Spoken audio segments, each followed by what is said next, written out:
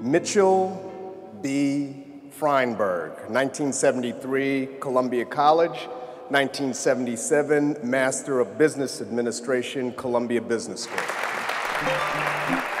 Columbia changed my life by taking me out of the suburbs of New Jersey and telling me there was more to the world than just commuting into New York. I could, I could do calculus. I could understand um, how, to, how to forecast the weather, things like that.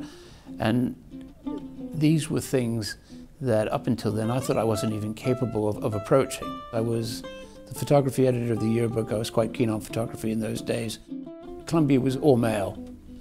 So it wasn't a terribly social place where the parties that, that, uh, that, that did take place were a bunch of guys sitting around drinking beer. Columbia College was there to challenge you, to provoke you.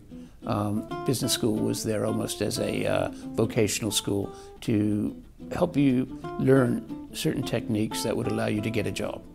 When I was asked would I be interested in, in doing some interviewing, I said, yeah, of course, because I thought to the extent Columbia College uh, or the engineering school would have people who had grown up someplace exotic, and for me, England was still exotic, um, that could help.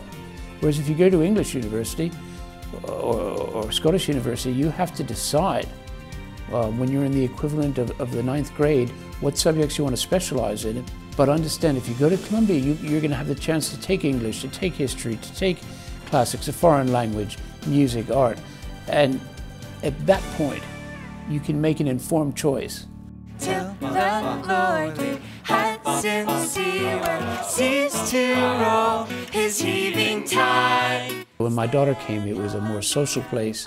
It was a, a friendlier place. It was a more interesting place to be. Columbia now needs to make sure it's better and better regarded each, each year. And that means better facilities, better, better scholarships, better teaching, whatever it takes.